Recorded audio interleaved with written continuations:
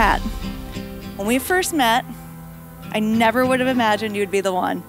But now that we are here, I can't imagine choosing anyone else but you to go through this journey with. The journey has been unpredictable and has taken turns beyond our control, but we've made it through everything together. I started to get comfortable with uncomfortable situations. I got better because you taught me to believe in myself. And that is how you live your life and what I love about you. You are honest, you are determined, you always give it everything you have, and together we find a way to get out of the woods. Now, don't get me wrong, there are still times when we need a little foot wedge, but we all need a little extra help every now and again.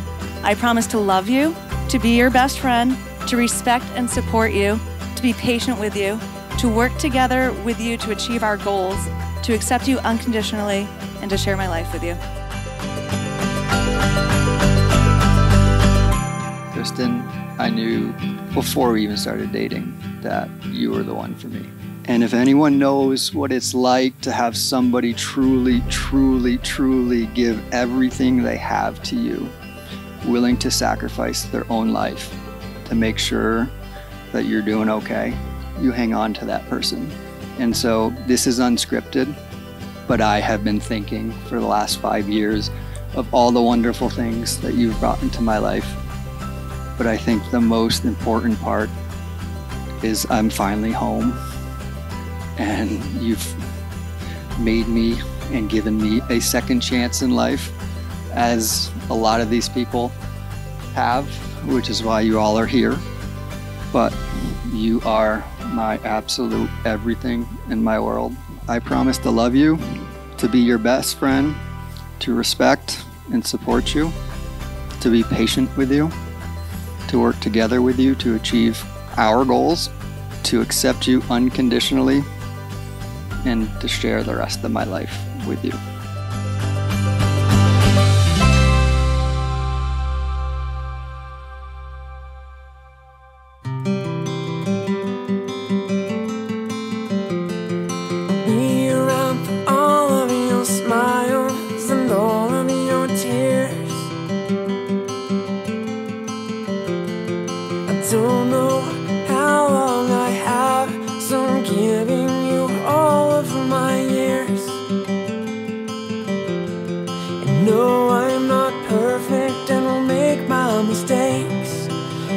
All for me if you're ready to take.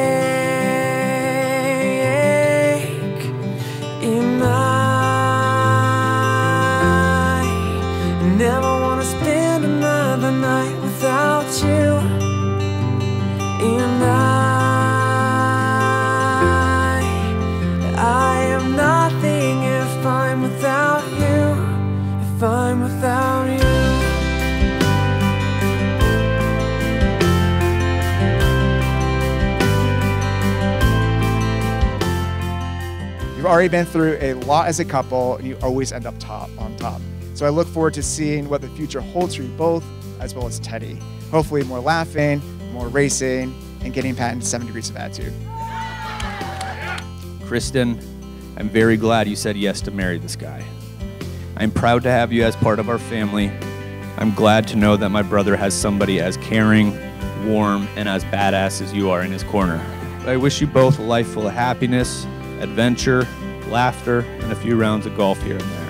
Fact is, we welcomed Pat to our family a long time ago. And secondly, I'm not giving my daughters away to anybody. I'm willing to share them. I'm willing to share them, and that's that's what I'm doing. But Kristen and Katie will always be my little girls. Just know that Sherry and my love for the both of you, as it is with Katie and Dan, Billy and Caitlin, our love you now and I will always be unconditional. On that note, I ask everybody to raise your glass for a toast to the newlyweds.